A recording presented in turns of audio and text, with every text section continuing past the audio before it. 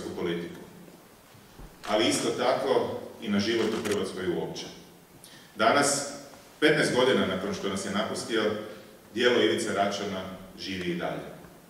Baš danas, u doba rata, konstantnih kriza, lažnih i površnih informacija, vremenima kada politika ponovno pokušava uređivati vijesti, a korupcija i kleptokracija zauzimaju prostor političkog odlučivanja, malo je onih koje doista možemo nazvati svjetionicima demokracije i demokratskih promjena. A Ivica Račan bio je upravo to. Bio je kompas hrvatske političke scene, nositelj promjena, glasnik boljega. Bio je otac hrvatske demokracije. I to ne samo zbog svoje uloge u raspisivanju i održavanju prvih višestranačkih izbora 1990. godine, a njegova je uloga u tome bila presudna, već i zbog svoje uloge predsjednika vlade Republike Hrvatske od 2000. do 2003. godine. Bilo je to vrijeme slično današnje, kada smo se borili s velikom ekonomskom krizom, s nejednakošću i podjelama. Ali i vrijeme u kojem je napravljen ključan, nezaustavljiv iskorak prema stvarnoj demokratizaciji društva i otvaranju Hrvatske demokratskim i europskim vrijednostima.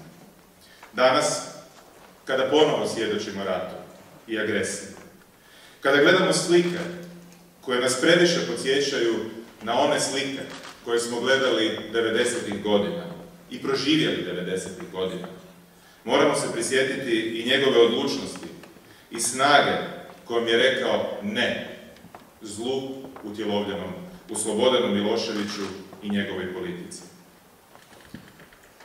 Riskirajući sve, bez kalkulacije, donio je povijesnu odluku kao što je to činio mnogo puta nakon toga.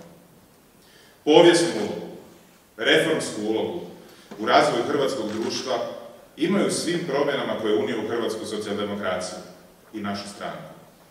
Pokazao je da je spreman mijenjati sebe i svoje okruženje, jer je želio da ideja socijaldemokracije uspije. U tome je pokazao veličinu kao, kao malo koji političar na ovim prostorima. Mnogi će ga pamtiti po tim velikim državničkim potezima, koji su obilježili našu prošlost i ostavili traga na sadašnjosti u kojoj živimo. Međutim, za mene osobno postoji jedan drugi trenutak. Jedan fragment iz života koji je pokazao veliko srce i punu veličinu karaktera po kojem ćemo Ivicu pamtiti. A to je način na koji se postavio u slučaju dvije djevojčice i odbacivanja koje su doživjeli zbog svoje bolesti. Pamtit ću ga po riječima gospođe Spomenke Ulmak. Njegova pomoć nikad nije prestala.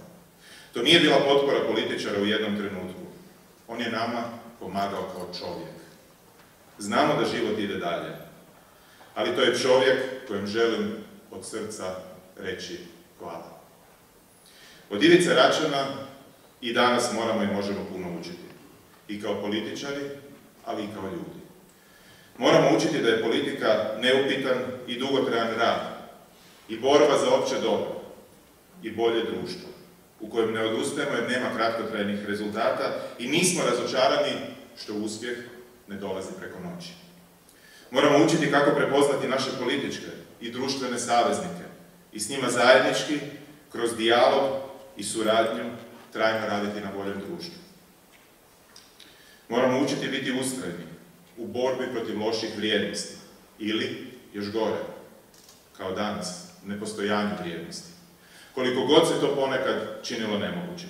Više od toga možemo i moramo naučiti kako biti bolji ljudi. Od Ivice Račana možemo naučiti kako biti odgovoran, a ne nepromišljen. Kako biti dosljedan, a ne pomodan. Kako biti pošten i skroman, a ne bahat. Kako u toj skromnosti biti trajno ponosan, a ne zasljepljen privremenim funkcijama i pozicijama. Bez sumnje. Ivica Račan bio je velik državnik, političar i čovjek.